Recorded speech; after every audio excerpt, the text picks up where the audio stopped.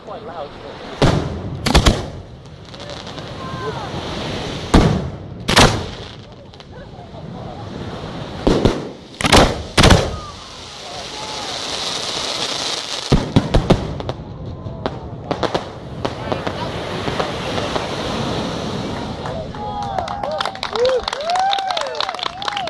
That's some Beach Village. That was really